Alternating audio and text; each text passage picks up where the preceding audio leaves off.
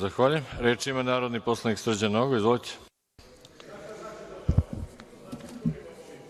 Pravosuđe jeste grana vlasti, kao što je i zakonodavna i izvršna vlast i vrlo bitna stvar. Brojni građani Srbije imaju dodirne tačke sa pravosuđem i sve nas treba da zabrine činjenica da preko 80% ljudi ne veruje pravosuđu.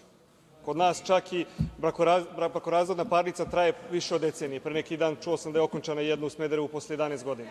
I to je ozbiljan problem. E sad, hteo bih da se pozovem na neke moje kolege. Recimo, prvo kolega Arsić koji kaže da narodni poslanik i treba i dužan je i može upravo da ukazuje na, na određene činjenice. Kolega Đukanović koji je u svom izlaganju ukazao Hoćete da da govorite o amandmanu, molim vas? Tako je o amandmanu, o amandmanu i pričam, gospodine Arsiću. Ne, ne govorite o amandmanu. Izvinjavam se, gospodine Držite politički govor. Znači, gospodine Arsiću, molim vas, znači, da li sam ja jedini poslanik koji nema pravo da govori? Znači, upravo obrazlazim zašto smatram da ne bi trebalo prihvatiti ovaj zakon. I pozivam se na argumente koje su izneli i drugi poslanici. Kolega Đukanović je sam rekao da i on smatra da ima puno propusta u radu pravosuđa i da mnoga lica koja su morala biti procesuirana i osuđena nisu. Kolega Jovanović je ukazao na značaj predsednika sudova. I apsolutno je tačno objasnio položaj i ulogu predsednika sudova u srpskom pravosuđu, čak je mogao i još više da potencira, mislim da je njihova moć daleko veća nego što je on rekao. Podsetiću vas da smo mi u novembru mesecu izglasali jedan zakon ovde u Narodnoj skupštini kojim smo uneli određene izmene i reorganizaciju pravosudnih organa u pitanju borbe protiv korupcije i da je predlog tog zakona potpisao predsednik Vlade, koji je takođe ukazao da postoje brojni problemi u radu pravosuđa i da je zato potrebno izvršiti određene promene, jer nije bio zadovoljan radom istih u borbi protiv korupcije, koja je veliki problem u ovome društvu.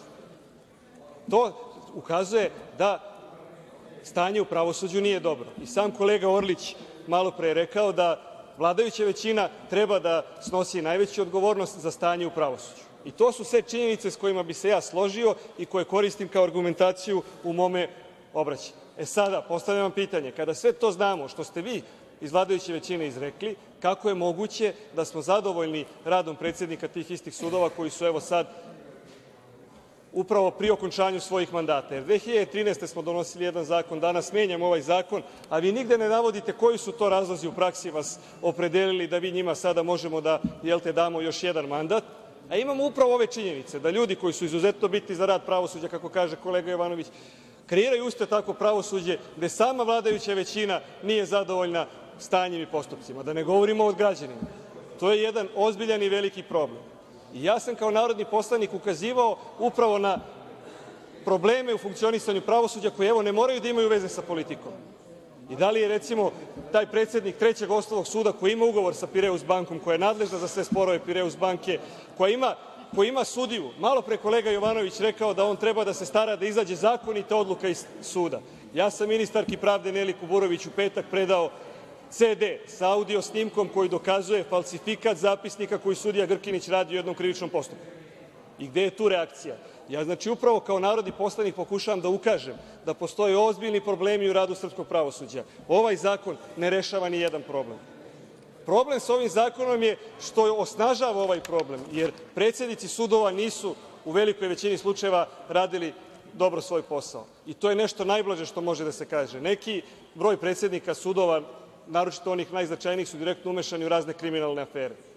I voleo bih da još dobijem odgovor na jedno vrlo važno pitanje.